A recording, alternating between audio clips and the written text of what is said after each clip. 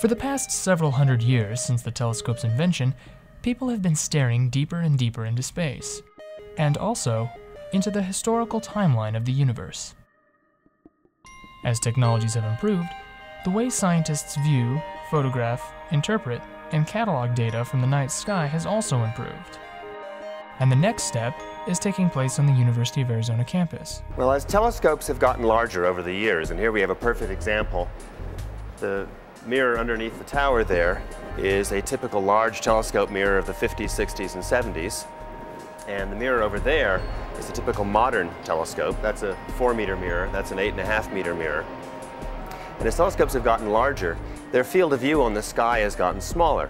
So we've been looking more and more deeply at a smaller and smaller piece of the sky.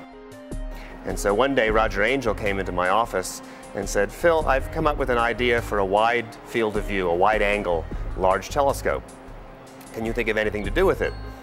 And of course, immediately finding supernovae came to mind and said, yes, you know, if we can look at a large amount of the sky, uh, then we can look at, I'll, I'll tile the sky with images repeatedly, go back and forth, and if we have a big wide angle lens, it doesn't take very many images to cover the whole sky, and we can do this again and again and again and find all the supernovae. And the more we went into the science, the more we thought about what you could do with such a wide angle, large telescope, the more we got excited. 50 years ago or something, the Palomar Sky Survey was done with the best technology of the time then. And the only thing that could record these huge images were photographic plates.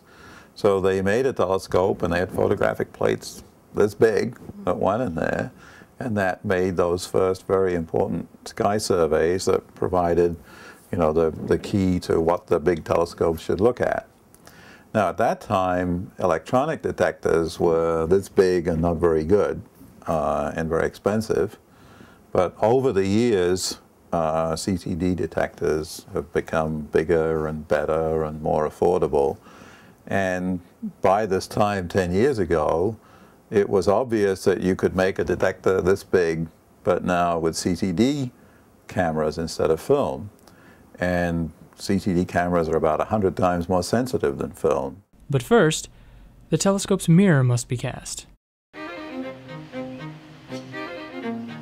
51,900 pounds of glass will be inspected by hand and carefully set into a 39 foot diameter spinning furnace.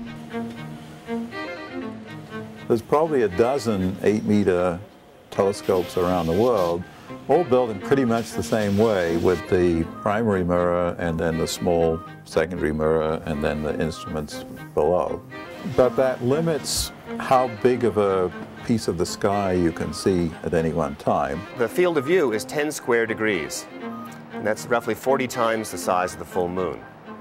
Right? Normally, a big telescope would see a tiny piece of one small crater on the moon.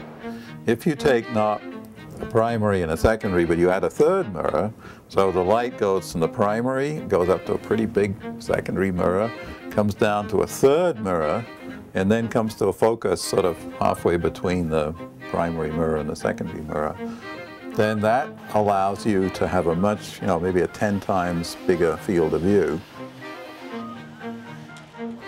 And one thing we realized was that you could combine the main mirror and the light goes up to the second, comes down to the third. And The third mirror could be part of the same piece of glass as the first mirror. So there's a outer ring of the big mirror which first collects the light, goes up to the second mirror, then comes down for another shot at this piece of glass on the center mirror, which has a different curve on it, but it can be built in one piece with the, with the primary one. I think the plan with LSST is that the data pretty much becomes almost immediately available to the whole world through the web in this style of Google Earth and, and so on. So this too is a revolutionary new way to deal with the data from telescopes.